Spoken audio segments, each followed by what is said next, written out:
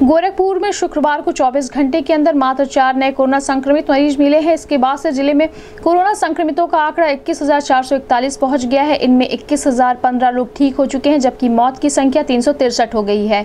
वहीं ज़िले में एक्टिव केस की संख्या तिरसठ रह गई है। इसकी पुष्टि सीएमओ डॉक्टर सुधाकर पांडे ने की है। इस संबंध में सीएमओ डॉक्टर सुधाकर पांडे ने बताया कि शुक्रवार को मिली कोरोना रिपोर्ट में ज़िले के शहर की बात करें तो कोतवाली थाना क्षेत्र में एक और ग्रामीण क्षेत्र के खोराबार चरगावा और बासगांव में एक एक मरीज़ मिले हैं। इस संबंध में सीएमओ डॉक्टर सुधाकर पांडे ने लोगों से विशेष सावधानियों को बरतने की अपील भी की है। दो गज की दूरी, मास्क है ज़रूरी, सामाजिक दूरी का करे पालन, अपने और अपने परिवार को बनाए स्वस्थ और सुरक्षित। सीएमओ डॉक्टर सुधाकर प्रसाद पांडे ने बताया कि इस बीमारी से बचने के लिए विशेष सतर्कता बरतनी होंगी क्योंकि इसका वायरस ठंड में ज़्यादा असर करता है।